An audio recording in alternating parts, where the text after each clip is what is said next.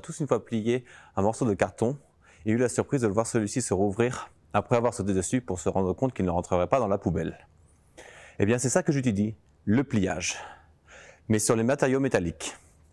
Et l'objectif n'est pas de mettre les pièces dans la poubelle, mais de la fabriquer. dans tous les cas, le pliage, c'est quelque chose de très simple. La machine fait juste un mouvement de haut vers le bas. Donc si c'est si simple, pourquoi une thèse? Eh bien, le pliage, c'est comme avec les enfants.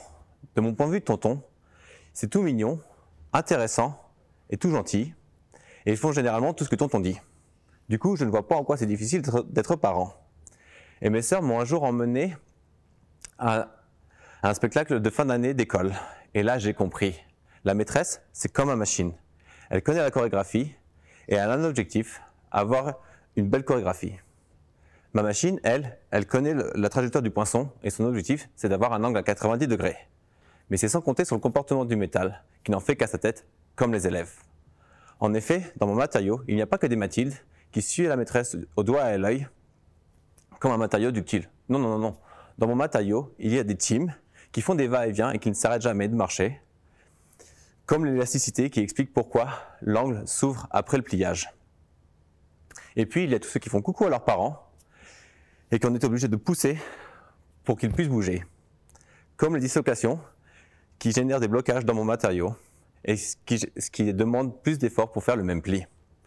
Du coup, on a une belle image de ce qui se passe lorsque je plie. Ma machine va à la position pour atteindre 90 degrés et la matière, elle, elle fait ce qu'elle veut. Du coup, comme, comme je ne peux pas changer les élèves, je vais devoir entrer la maîtresse pour qu'elle puisse connaître ce qui va influencer la chorégraphie et ainsi modifier pour que les élèves soient tous passés au bon endroit. Mais comment modifier? On ne va pas répéter tout le spectacle d'un coup. Non, non, non. On va prendre toutes les étapes et les observer séparément. Ainsi, je vais faire des tests différents, plus simples, comme de la traction, de la flexion, pour dégager des comportements tels que ductiles, résistants ou fragiles. Quand je fais tout ça, je vais pouvoir savoir qui va bouger dans tous les sens, qui va suivre la bonne position, et l'intégrer dans mon modèle pour pouvoir mieux prédire le pliage.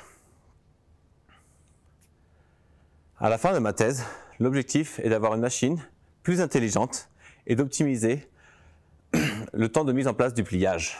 Mais avant tout, je vais prendre la place de la maîtresse et observer la partie la plus compliquée, l'étude des matériaux.